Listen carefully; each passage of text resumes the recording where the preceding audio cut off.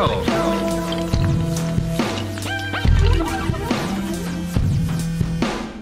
Some say that karma is a bitch. Some say that karma is a bitch. To the big show.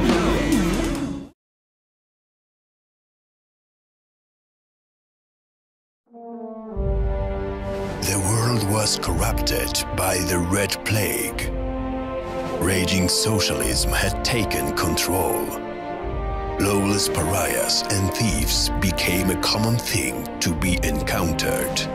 Sadistics and hungry for blood were parasiting this once healthy society. And when we all thought that there is no hope, the hope has arrived. One man said, Enough. One man declared a war. And he single socialist is dead. Corvin, the game.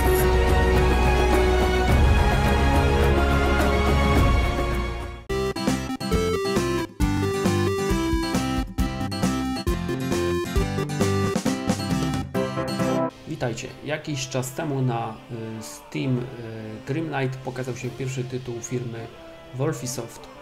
Y, To gra Corvin the Game.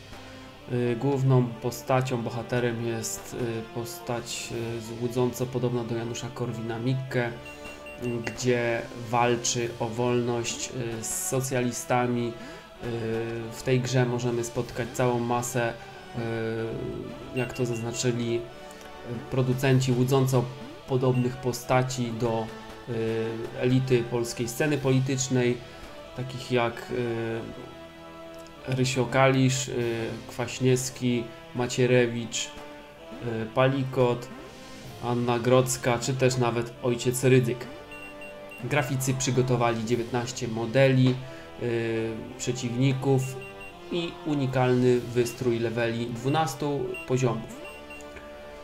Co tu można ciekawego jeszcze powiedzieć? Mm, Postać nasza główna walczy mm, w, między innymi w, przy tęczy, która była głośna, bo płonęła kilka razy, czy też w Lesie Krzyżów przed Pałacem Prezydenckim.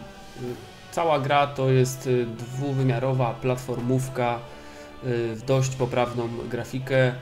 Y, Jest y, uzbrojona, wygląda jak mm, jedna z gierek flashowych fani Korwina powinni mieć tą grę w swoich zbiorach. Y, Na pewno by się przy niej śmiesznie bawili, rozwalając jakiegoś, y, jakiegoś bossa podobnego do jednego z naszych, y, z naszych z polityków polskich.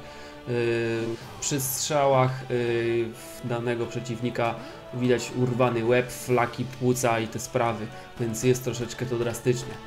Sami sprawdźcie, na pewno będziecie mieli parę minutek ciekawej zabawy.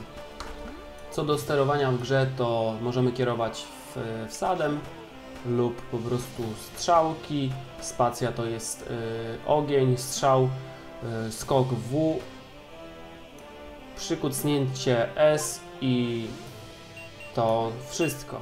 To więc nie jest zbyt skomplikowane to sterowanie. No, tak to bywa przy polskich takich produkcjach korwinowych.